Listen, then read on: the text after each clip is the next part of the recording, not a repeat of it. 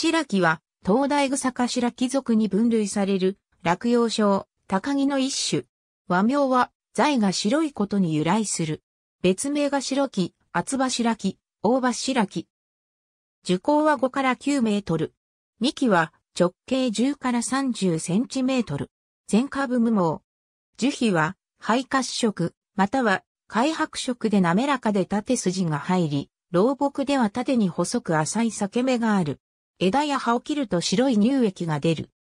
葉は柿の木に似た形で単葉で合成し、葉身は卵状楕円形、先端は鋭く尖り、長さ7から13センチメートル、幅6から11センチメートル、前円で、円は波打つことがあるが、虚子はない。葉の形状に変異が著しい。葉の表面には多少光沢があり、葉の裏面は薄緑白色で無毛で、葉脈が隆起し、葉円近くの葉脈上に線が散在する。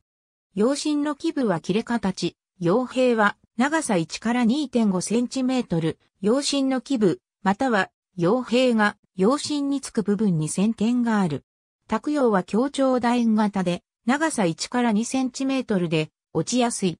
若い葉柄は紫色を帯び、葉は秋に美しく紅葉から紅葉する。知名度は低いが紅葉の美しさはトップクラス。花は単性で私有同種。若枝に長さ5から10センチメートルの相乗果樹を出し、果樹の上部に多数の黄色の雄花をつけ、基部に1から3個の雌花をつけるが、雌花を描くこともある。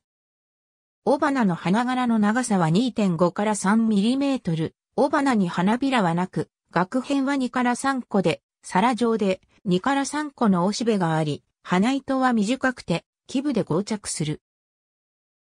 雌花に花びらはなく、柄の長さは約7ミリメートル、額は2から3個で3列して、長さ1ミリメートルほど、脂肪は2から3質、花中は3個で基部が合着する。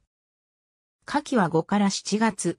果実は直径1.8センチメートルの三角状球形の果てで先端に花中が残り、産量がある。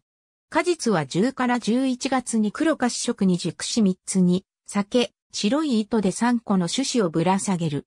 種子は直径 8mm の平た球形で薄黄色に黒い斑紋が入り、細かなシワがあり、約50%の油分を含む。